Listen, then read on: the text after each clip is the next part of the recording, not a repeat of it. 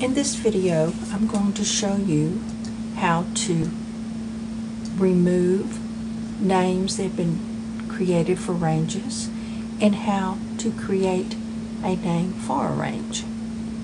So let's start off first by selecting this range of numbers.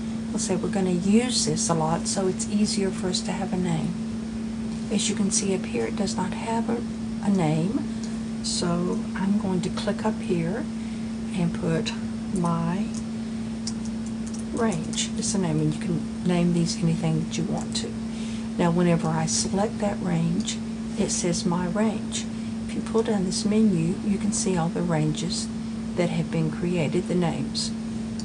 So you can see here we have quarter one, here we have quarter two. Let's say you don't need these anymore or decide not to use the range names. On the Mac, you come up to the Insert, Name, Define,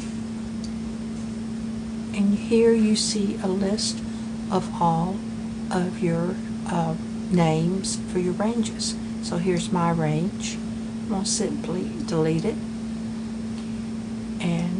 Ahead and delete quarter one and quarter two. You see that you also can go ahead and set up names of ranges here in this dialog box. Then I'll click OK. And now when I drag across this range, you just see it gives the um, cell number of the first cell in that range. Same thing here. And when we pull these down, you can see that there are no ranges that we have named.